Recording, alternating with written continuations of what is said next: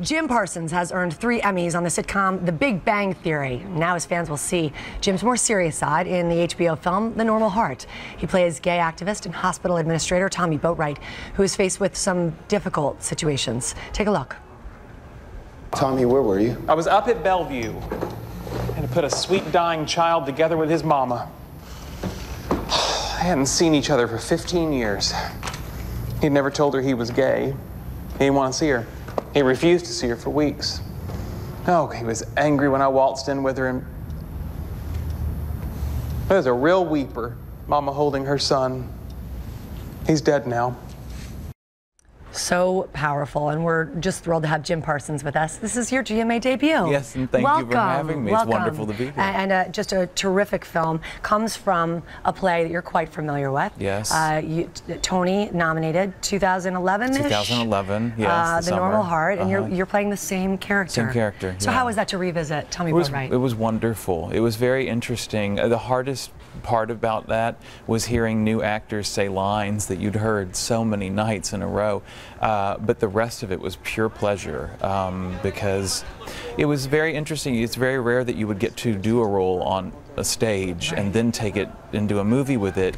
And it's like this level of almost background homework I got to do that I never would have gotten to do otherwise. and, so. and did you change the way you approached your character? Uh, you know, it was about two years away from the close of the play that the movie started shooting, so I had enough distance that things weren't hanging over me like uh, overly resonating, and uh, it was it just felt really easy to respond to the new people in the new way, and and they were such wonderful actors that populate this film that it it made it its own thing. It was its own experience. took a long time to get this movie made. Yes, many Nearly years. 30 years. Yeah. And and the perception of AIDS has changed so much during that time. Certainly. And and, and it, it isn't the death sentence that it once Absolutely. was considered. Yes.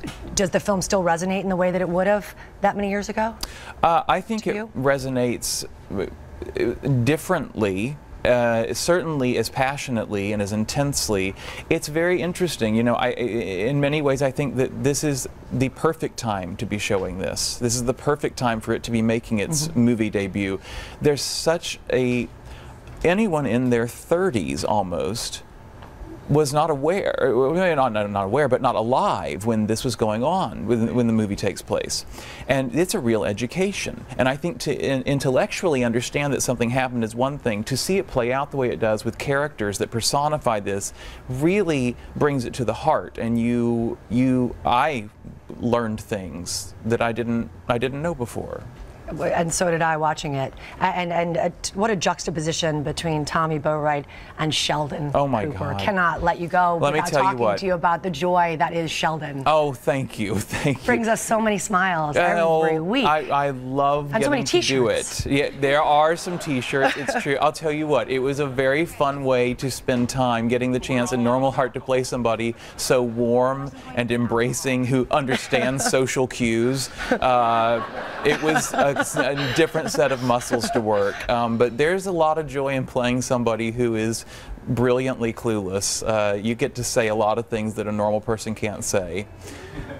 A lot of offensive things.